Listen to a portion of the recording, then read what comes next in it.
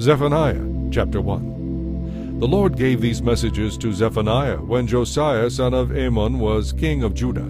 Zephaniah was the son of Cushi, son of Gedaliah, son of Amariah, son of Hezekiah. I will sweep away everything in all your land, says the Lord. I will sweep away both people and animals alike. Even the birds of the air and the fish in the sea will die. I will reduce the wicked to heaps of rubble along with the rest of humanity, says the Lord. I will crush Judah and Jerusalem with my fist and destroy every last trace of their Baal worship. I will put an end to all the idolatrous priests, so that even the memory of them will disappear. They go up to their roofs and bow to the sun, moon, and stars. They claim to follow the Lord, but then they worship Molech too. So now I will destroy them, and I will destroy those who used to worship me, but now no longer do. They no longer ask for the Lord's guidance or seek my blessings. Stand in silence in the presence of the sovereign Lord, for the awesome day of the Lord's judgment has come. The Lord has prepared his people for a great slaughter and has chosen their executioners. On that day of judgment, says the Lord, I will punish the leaders and princes of Judah and all those following pagan customs.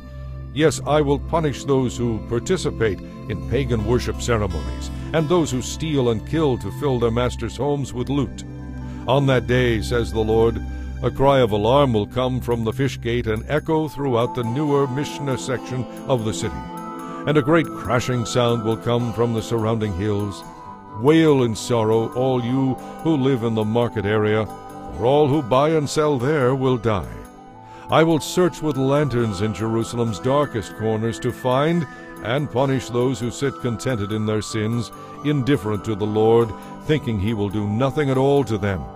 They are the very ones whose property will be plundered by the enemy, whose homes will be ransacked.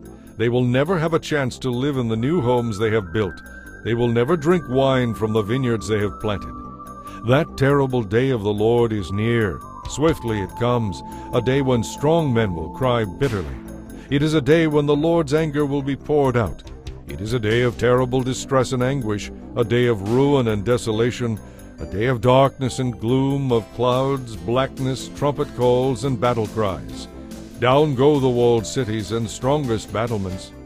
Because you have sinned against the Lord, I will make you as helpless as a blind man searching for a path. Your blood will be poured out into the dust, and your bodies will lie there rotting on the ground.